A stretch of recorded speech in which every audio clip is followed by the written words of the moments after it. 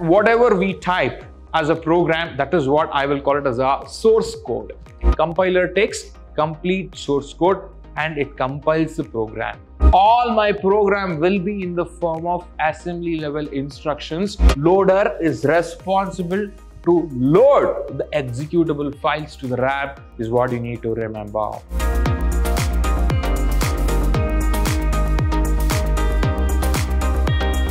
Hello everyone, I welcome all of you to the beautiful chapter that's Inside Program Execution. So what exactly this Inside Program Execution is all about? So most of you will not be knowing what exactly is happening inside the execution of the program. So here is a class for all of you to understand what exactly is happening inside the program. Alright, let's understand this in detail step by step in this chapter. So what is that I'm going to discuss in today's session? So please make a note of it. The basic flow of compilation. This is going to be very, very important for all of you. How exactly the compilation of the program is happening. So most of you will have a question, what exactly compilation is all about? So let me talk about this in detail in the coming slide. Keep watching. And the next one that I will uh, discuss is understanding the translator process, how exactly it is translating the program. Basically, we all know that our program will be in the form of high level language. So how do we translate that to the machine level language? That is what I will call it as a machine code. So fine. So that is what I will be discussing it with you in this topic. And the next one is compilation process in detail. In this compilation process also, we have some different steps. So I will be discussing that in detail. So let's understand this. A basic flow of compilation is the first topic in my presentation today for all of you. So you all know that whatever we type as a program, that is what I will call it as a source code. So my program is a source code now. So it will be in the form of high level language because I know only English. So using English, I will be typing my program. So that is what I will be calling it as a source code. So basically the computer will not understand the high level language. So for that, I need a person who can translate my high level language into source code that is machine level language. Let me not uh, confuse you guys. So it is very simple. I have the high level language. I need the machine level language. I need somebody to translate it. So who is this translator now for me? I have two important people with me in this today's class. So that is compiler and interpreter. So compiler, please make a note of it. I have two people, compiler and interpreter. So compiler and interpreter, I will call them as a translators who will help me to translate the high level language. So high level language to what? So translator will help me to convert it into machine level language. So we had some watch called HMT. Okay, we had some watch called HMT. So just rearrange it. It is HTM. Easy to remember. So fine. So we got to know that we need some two translators that is compiler and interpreter. Let's understand this compiler and interpreter in detail now. So I have compiler and interpreter, how exactly this compiler and interpreter is working. Let's discuss this. Compiler takes complete source code. Compiler takes complete source code and it compiles the program. But when it comes to interpreter, so interpreter will not take the complete source code and it interprets. It takes only one line at a time. So here, when it comes to compiler, the entire program will be compiled in one go, but when it comes to interpreter, only one line at a time. So that is the major thing that you need to understand at this point of time. Both of them are converting high level language to machine level language. But when it comes to compiler, in one go, the entire program is getting converted from high level language to machine level language. But when it comes to interpreter, what happens? It converts line by line. It converts line by line. So I will be discussing in detail with respect to compiler and interpreter in my coming sessions. So as of now, you just have to understand only this much. So fine, let me tell you what exactly the basic flow of compilation. So in detail now. So I have these many steps. All right. So these many steps are very, very important. I want all of you to make a note of these four steps. The first step that I have is pre-processing. What is the first step that I have? I have pre-processing. That, that is the first step in my compilation. The second step that I have is compilation. And in that compilation, I have two different steps. The first one is analysis. Second one is synthesis. So fine, I understood that. So what is the third one that I have? The third one that I have is assembly and the last one is linking. Along with this linking, I also have loader. So fine, this is the different steps that I have. So what exactly I will be doing with this pre-processing? So this is very, very important that I need to understand. Imagine I have the source code. I mean to say that whenever I write or whenever I say source code, you need to understand that that is the typed program what I have. So fine, I have the source code with me, which I have typed. So in the first step, what exactly I have, that is pre-processing. When it comes to the first step, I will be removing all the unwanted comments from my source code. So that is what is happening in my pre-processing step is what you need to remember. So what exactly is happening? All the unwanted comments or the comments whatever I have. I cannot say that No, it's unwanted comments obviously, but that is not required for the execution of the program is what I would like to say at this point of time. So fine, I will be removing all the comments, whatever I have. So with the help of the first step, that is pre-processing. The second step that I have, so that is compilation. Please make a note of it.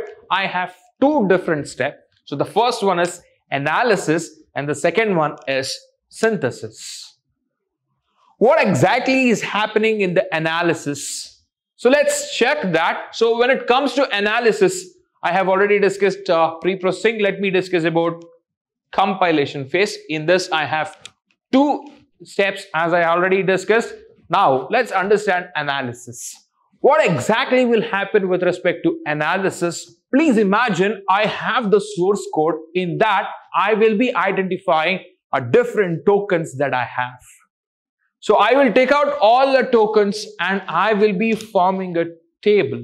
I will be forming a table. So please understand, I will call that table as symbol table. What exactly this process is doing?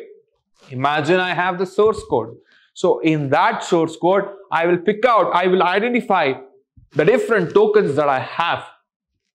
I will take all the tokens and I will be storing in a table and I will be calling that as a symbol table. First, in the compilation process, the table will be formed. That table is what I will call it as a symbol table. So fine, we understood that. What exactly will happen in the next step? Please observe carefully. In the next step, especially in the synthesis phase. What exactly will happen? So please you need to understand we have something called syntax tree. My source code, whatever I have, by looking at my source code, it will generate the syntax tree. What exactly it means, sir? I need to identify the errors. I need to identify the syntax errors. Then how do I identify that syntax error? So by generating the syntax tree, I will be able to easily identify my errors. Then how do I generate the syntax tree? How exactly it is looking like? So tree in the sense, obviously it will be in the form of like this, right? This is what I will call it as a tree. Imagine I have an expression something like this, 3 plus 4 into 3. Right? So now which one has got the highest priority? Star has got the highest priority. Yes or no? Yes. First, this will happen. This operation will be performed. Then this addition will be performed. Yes or no? So please understand that. Am I correct? So first, how do we evaluate the expression? So first, we will identify the priority of the operator. We have the BODMAS rule, right? The same way we have the operator precedence. So based on the priority of the operator, the expression will be evaluated. That's what we have seen. So fine, we know that. How do we evaluate this expression? So let's start. Okay, let me write like this. All right, so I have star. So what is the value that I have? I have 4 into 3. I have 4 into 3. Whatever I am multiplying, 4 3s are 12. So this value plus 3. Okay, so this is what I will be performing. This is what I will call it as syntax tree. This is what I will call it as syntax tree. So I will be converting or the compiler will be converting all my source code into this syntax tree. So using this syntax tree, it is very easy for me to identify any syntax error. This is what you need to understand at this point of time. So we are in the second step. Please don't forget. The first one is pre-processing. Please understand the second step that we have is compilation phase. Okay, this is what we are trying to discuss. So we have understood what exactly analysis and we have understood what exactly synthesis is all about. So let's understand what exactly I have in the next step. So fine, in the next step, I have assembly phase. What exactly is happening in the assembly phase? Whatever the program that I am getting. So please understand the phase receives the assembly level instructions all my program will be in the form of assembly level instructions. So this assembly level instructions, I'm going to get converted into machine code. I'm going to get converted this assembly level assembly level instructions into machine code. So that is what we will call it as a object code. So we also call that machine code as object code. So fine, it's very simple now. So I have that assembly level language. Okay, my source code is in the assembly level language. Is it? No, it's in the high level. That's what you need to notice it now. So fine. So it will go to the first step. So it is in the pre-processing step. Okay. It is in the pre-processing phase. So my source code will be minus from comments. I will be removing the comments in the first phase. So that is what you need to remember. So fine. In the second phase, what happens? In the second phase, I will have two steps. In the first step, so I will, I will prepare a symbol table. I will prepare a symbol table. In the second phase, I will prepare a tree. So table and tree. So please remember with T square, that is the second phase. When it comes to third one, okay, so I will get all my instructions in the assembly level. So assembly level 2, I will convert it into machine code. This is what you need to remember. So this is the three steps that we have discussed we understood it's in the assembly level instructions. When it reaches the third stage so it will get converted into machine code. So what next? So linking should happen. So you told uh, system will understand the machine code. Then why do you need the next step? You could have executed the machine code right? The computer understand the machine codes right? Then why do you need this linking step linking phase? Why do we need this linking phase? So please understand in my program, a lot of linking to the libraries should happen. What exactly it means? Whenever I write my program, I will not write everything on my own. I would have used or the program would have consumed a lot of predefined functions. What exactly predefined functions is all about, sir? Predefined functions in the sense, say for example, I'm writing a program in that I have used a function called square root. A function called square root. So I have not written any special code or a special program to use or to calculate the square root. I have just called that particular function in my program. Then how the computer will get to know that if I use sqrt, it should calculate the square root of a given number. So for that function, I have written the function, I have defined the function and I have stored it in the library. So for that, the linking should happen. Say for example, you are using the function called square root. How the computer will come to know that if I write sqrt, in the sense it should calculate the square root of a given number. So for that, the linking should happen. Where should, where do you need to link? So I have the library here. I have the library. So library is a collection of such predefined functions. So if you have used any of the predefined functions, in this phase, the linking will happen. In this phase, the linking will happen is what you need to remember. So fine, the object code received by this phase very much in a binary code, but still the computer cannot execute because it needs to link to the libraries because it is you have used but you have not linked suppose if you have not linked or if you have not used to predefined functions then you can you don't have to link anything suppose if you have used then you cannot execute though it is in the machine code that's an important point that you need to remember so fine the part of the compiler which performs the linking of the library is called linker so what is linker now? Hope you understood. The person, the guy who does the linking is what I will call it as a linker. Is there anybody like that, sir? No, I'm just kidding.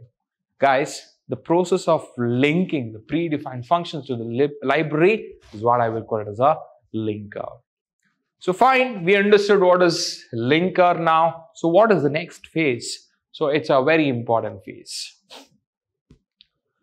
You have done everything so what is that? Pre-processing you have done. So you have done the uh, second phase, no compilation process you have done. The third phase, assembly phase you have done. Linking phase you have done. The last one is loader. What exactly loader is all about?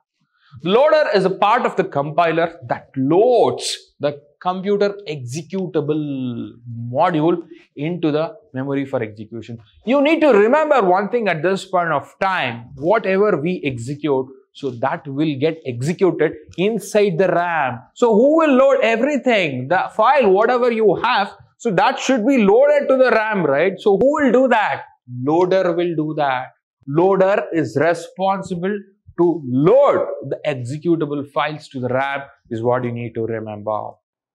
So fine, this is one of the important points that you need to understand. So we understood the loader also. So fine, I have summed up everything whatever I have discussed in today's session in one simple diagram. If you know, if you just go through this diagram, the whole class is in the diagram. So I, I'll show you how.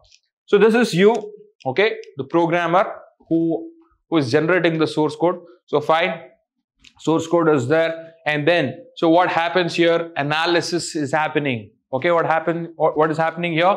Analysis is happening and synthesis is happening. You all know that. So before this analysis, pre-processing should happen okay pre-processing should happen removing the comments after that analysis is happening you are identifying the tokens and you're forming a symbol table all right? After that you have the synthesis. Synthesis in the sense you are trying to generate the syntax tree okay? So you're trying to generate the syntax tree. Then after that assembly okay? So for that assembly phase. Next one is assembly phase. So you're passing whatever you have. So you are passing all the instructions in the form of assembly level instructions. So by the end of that phase, you will get the object code. So which is almost equal to the machine code, but you cannot execute. So to execute that, the linking should happen. So linking will happen with the standard libraries. So once the linking is done, so please understand once the linking is done, so you will use the libraries object codes all these things you will use for linking. So after that so you will load you will load everything to the memory for the execution. So that is what you need to understand. So once it is done your files will be converted into .exe and then it will be loaded to the memory is what you need to remember. Please don't forget that. So this is how the compilation process is happening. This is what you need to remember. By saying this let me wind up the session today Please take care of your health, take care of your family. I will sign off. Thank you, everybody.